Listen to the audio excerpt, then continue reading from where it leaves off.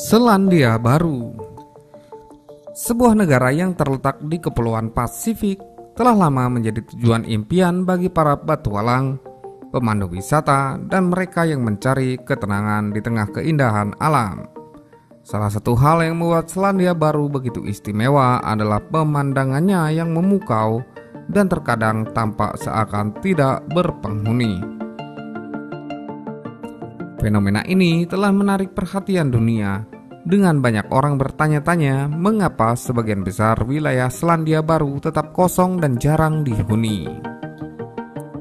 Selandia Baru terdiri dari dua pulau utama, Pulau Utara dan Pulau Selatan, serta beberapa pulau kecil di sekitarnya.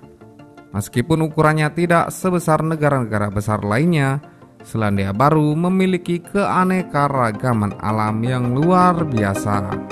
Dari pesisir pantai yang memukau hingga pegunungan yang menjulang tinggi, dari danau-danau berair jernih hingga hutan-hutan yang lebat, negara ini menawarkan berbagai landscape yang mempesona.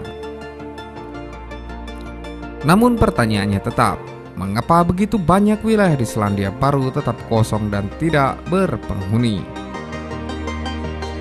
Salah satu faktor utama yang menjelaskan kekosongan sebagian besar wilayah Selandia Baru adalah topografinya yang menantang. Sebagian besar wilayah negara ini didominasi oleh pegunungan, bukit, dan dataran tinggi yang curam. Kondisi topografi ini membuat akses sulit dan pembangunan infrastruktur menjadi lebih mahal. Banyak wilayah terpencil yang sulit dijangkau, bahkan dengan teknologi modern. Hal ini telah membatasi perkembangan pemukiman manusia di beberapa daerah.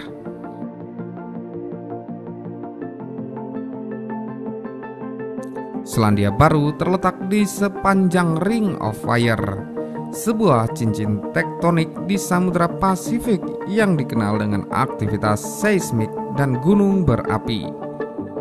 Aktivitas geologis ini telah menghasilkan pemandangan yang luar biasa, tetapi juga berdampak pada pemukiman manusia. Gempa bumi dan letusan gunung berapi dapat menghancurkan pemukiman dan mengubah lahan dalam waktu yang singkat. Inilah sebabnya mengapa beberapa wilayah mungkin tidak cocok untuk pemukiman manusia yang stabil pemerintah Selandia Baru telah berkomitmen untuk melestarikan keindahan alam dan warisan budayanya. Banyak wilayah yang tetap kosong adalah kawasan lindung, taman nasional, atau situs warisan dunia. Keputusan ini diambil untuk menjaga ekosistem yang unik dan melindungi keanekaragaman hayati serta keindahan alam yang dimiliki oleh negara ini. Sebagian besar penduduk Selandia Baru terkonsentrasi di kota-kota besar seperti Auckland, Wellington, dan Christchurch.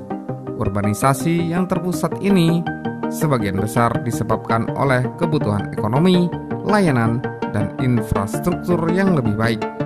Pemukiman manusia cenderung berkumpul di sekitar area dengan akses terbaik dan peluang pekerjaan yang lebih banyak. Meskipun sejumlah wilayah di Selandia Baru tetap kosong dan jarang dihuni, ini tidak berarti bahwa daerah-daerah tersebut sepenuhnya terlantar. Ada beberapa komunitas kecil yang hidup di wilayah terpencil ini. Beberapa dari mereka adalah suku Maori, penduduk asli Selandia Baru yang telah hidup di sana selama berabad-abad. Mereka telah mengembangkan hubungan khusus dengan lingkungan alam di sekitar mereka dan mempraktekkan budaya dan tradisi mereka. Meskipun banyak wilayah Selandia Baru tetap kosong sampai saat ini, ada kemungkinan bahwa pergeseran demografis dan perkembangan teknologi akan memainkan peran dalam mengubah dinamika ini.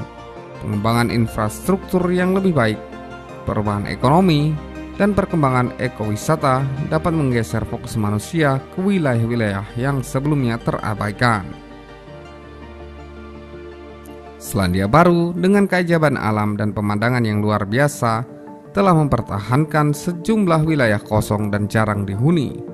Faktor seperti topografi yang menantang, aktivitas geologis, perlindungan lingkungan, dan urbanisasi terpusat telah berperan dalam membentuk pola pemukiman manusia di negara ini. Meskipun beberapa wilayah mungkin kosong, mereka masih menghadirkan pesona alam yang menakjubkan dan kisah-kisah unik tentang kehidupan manusia yang beradaptasi dengan alam.